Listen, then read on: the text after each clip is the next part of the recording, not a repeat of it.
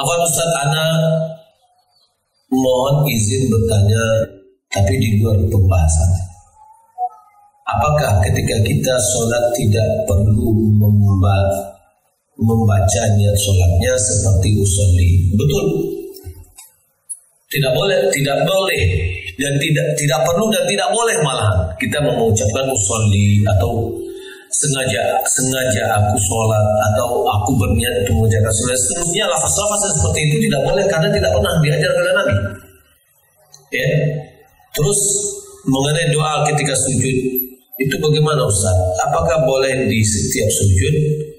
Apa boleh juga di, di sujud sholat wajib? Bagaimana dengan bahasa yang digunakan ketika ada doa tersebut? Iya. Adapun doa di waktu sujud Nabi SAW mengatakan amma sujud fa'akhiru fihi Ada sujud perbanyaklah doa di dalamnya. Maka Nabi memerintahkan kita untuk berdoa banyak. Baik itu sholat fardu atau sholat sunnah. Baik itu pada uh, sujud pertama atau sujud kedua dan seterusnya. Atau setiap sujud kita melakukan itu boleh. Lalu bagaimana bahasanya? Bahasa kita bagusnya bahasa bahasa Arab dengan membaca Al-Quran, doa-doa Al-Quran, doa-doa hadis itu lebih bagus.